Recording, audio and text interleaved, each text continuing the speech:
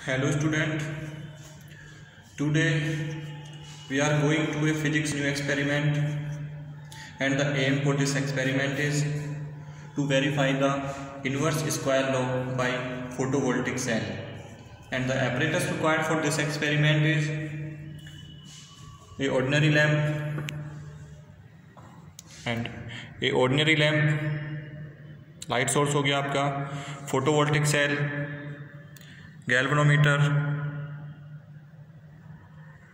and a bench जिस पे देखो स्केल लगा हुआ है आपका। ओके एंड नाउ आपको करना क्या है? लैंप और फ़ोटो फोटोवोल्टिक सेल आप इस बेंच पे अरेंज करेंगे इस तरीके से। ओके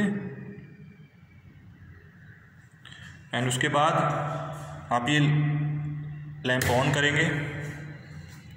और आपकी जो लाइट है, ये फोटोवोल्टिक सेल पे आपका फॉलो होनी चाहिए। ये देखो इस तरीके से।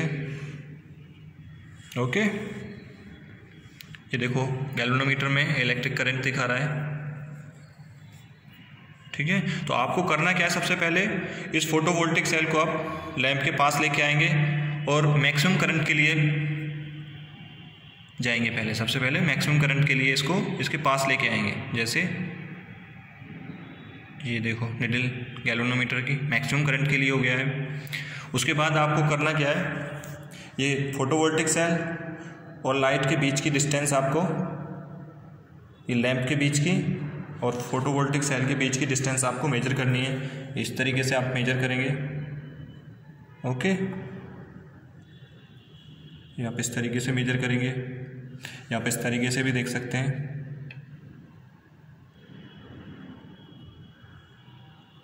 Okay, fourteen centimetre. उसके बाद आपको करना क्या है? अब आपको एक एक एक, दो दो सेंटीमीटर पे इस फोटोवोल्टिक सेल या फिर लैंप को पीछे लेके जाना है। किसी एक को हम कांस्टेंट कर लेंगे और किसी एक को एक एक या दो दो सेंटीमीटर पीछे लेके जाएँगे। हम जैसे ये लैम्प को हमने कांस्टेंट कर लिया है और हम फोटोवोल्टिक सेल को पीछे लेके जाएँगे। एक एक दो दो सेंटीमीटर पीछे लेके जाएँगे और गैल्वेनोमीटर से रीडिंग रीड करते रहेंगे। ओके फिर से लेके जाएँगे पीछे थोड़ा। एक या दो सेंटीमीटर और फिर से रीडिंग रीड कर लेंगे। है ना? इस तरीके से हमको at least eight to nine readings हमको लेनी है। ठीक है? इसके लिए मैं अब आपको देखो ये ऑब्जर्वेशन टेबल दिखा देता हूँ। ये आपका फोटोवोल्टिक सेल की पोजीशन हो गई। ये लैम्प की पोजीशन हो गई जो कि हमने कांस्टेंट रखी है। ये लैंप की पोजीशन ये कांस्टेंट हो गई।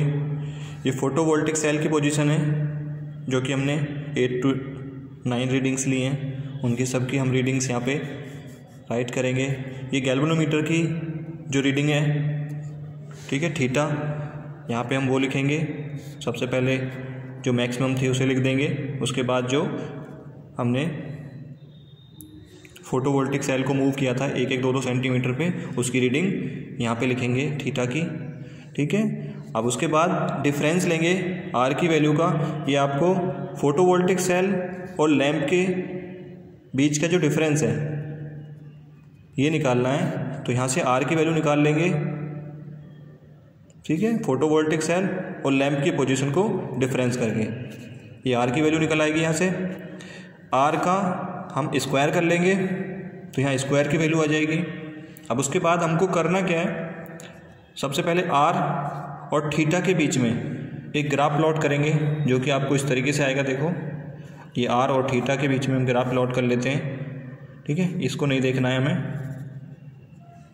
ये इस तरीके से आएगा आपका। उसके बाद आप आर स्क्वायर और वन अपॉइंट थीटा के बीच में, ये थीटा की वैल्यू है, यहाँ से वन अपॉइंट थीटा निकाल लेंगे। तो वन अपॉइंट थीटा और आर स्क्वायर के बीच में एक ग्राफ प्लॉट करेंगे तो ये एक स्ट्रेट लाइन आएगी। ठीक है? ये आपकी स्ट्रेट लाइन आएगी। इसमें कोई कैलकुलेशन पार्ट है नहीं। आपको बस ये, जो आपके ग्राफ हैं, ये इस तरीके से आनी चाहिए। इस तरीके से आते हैं तो आपका ये इन्वर्स स्क्वायर लो वेरीफाई होता है। अदरवाइज़ आपको ये प्रैक्टिकल रिपीट करना होगा अगेन परफॉर्म करना होगा आपको। ओके